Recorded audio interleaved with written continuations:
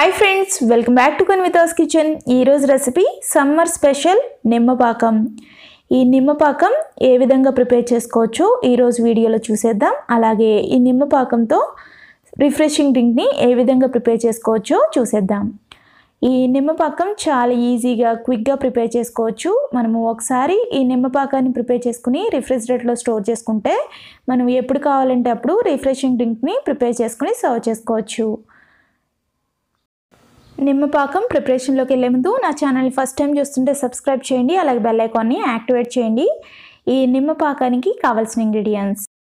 ఇప్పుడు ఒక పది నిమ్మకాయలను తీసుకుని ఈ విధంగా కట్ చేసుకుని ఒక ప్లేట్లోకి పెట్టుకోవాలి.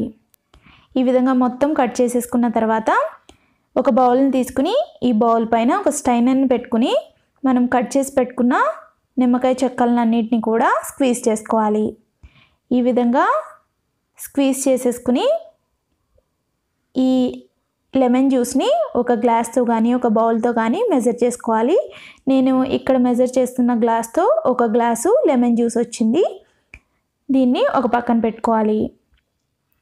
ఇప్పుడు ఒక బౌల్ని తీసుకుని దీనిలోకి మనం ఏ గ్లాస్తో లెమన్ జ్యూస్ని మెజర్ చేసుకున్నామో అదే గ్లాస్తో పంచదారని మూడు పావు గ్లాసులు యాడ్ చేసుకోవాలి. అంటే ఒక గ్లాసు లెమన్ జ్యూస్కి మూడు పావు గ్లాసుల పంచదారని యాడ్ చేసుకోవాలి.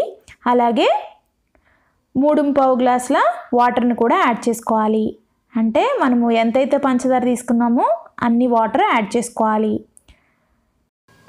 ఇప్పుడు స్టవ్ వెలిగించి స్టవ్ మీద పెట్టుకుని మీడియం ఫ్లేమ్లో కదుపుకుంటూ షుగర్ అంతా మెల్ట్ అయ్యి మనకి చేతికి జస్ట్ స్టిక్కీగా అనిపించేంత వరకు బాయిల్ చేసుకోవాలి. అంటే మనకి గులాబ్ జామ్ పాకం ఏ విధంగా ఉంటుందో అలా ఉంటే సరిపోతుంది.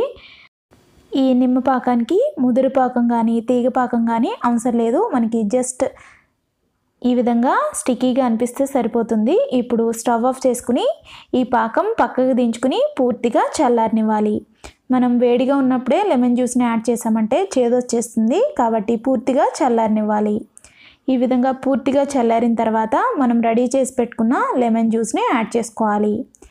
ఆ తర్వాత మొత్తం కలిసే విధంగా మిక్స్ చేసుకుని ఇప్పుడు నిమ్మపాకం గ్లాస్ జార్లో కానీ బాటిల్లో కానీ ట్రాన్స్ఫర్ చేసుకుని రిఫ్రిజిరేటర్లో స్టోర్ చేసుకుంటే మనం ఎప్పుడు కావాలంటే అప్పుడు రిఫ్రెషింగ్ డ్రింక్ని ప్రిపేర్ చేసుకుని సర్వ్ చేసుకోవచ్చు. ఇప్పుడు ఈ నిమ్మపాకంతో రిఫ్రెషింగ్ డ్రింక్ని ప్రిపేర్ చేసుకుందాం.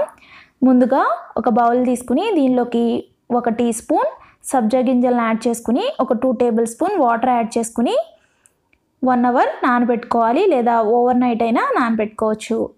ఈ విధంగా నానిపోయిన తర్వాత వీటిని ఒక పక్కన పెట్టుకోవాలి. ఇప్పుడు ఒక గ్లాస్ని తీసుకుని దీనిలోకి మనం ముందుగా రెడీ చేసి పెట్టుకున్న నిమ్మపాకం two tablespoon or three tablespoons add చేసుకోవాలి.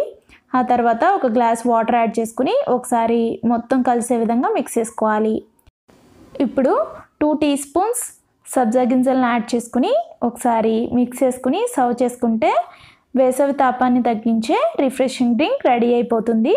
ఈ సబ్జా గింజలు వేడిని తగ్గించడానికి యూజ్ అవుతాయి. అలాగే వెయిట్ లాస్ అవ్వడానికి కూడా చాలా యూజ్ అవుతాయి. నా వీడియో కనుక మీకు నచ్చినట్లయితే లైక్ చేయండి. మీ ఫ్రెండ్స్ అండ్ రిలేటివ్స్కి షేర్ చేయండి. సబ్స్క్రైబ్ చేయడం మర్చిపోకండి. మరిన్ని మంచి వీడియోస్ మీకు నోటిఫికేషన్స్ రావడం కోసం బెల్ ఐకాన్ని యాక్టివేట్ చేయండి. మరొక మంచి వీడియోతో మళ్ళీ కలుద్దాం. Thanks for watching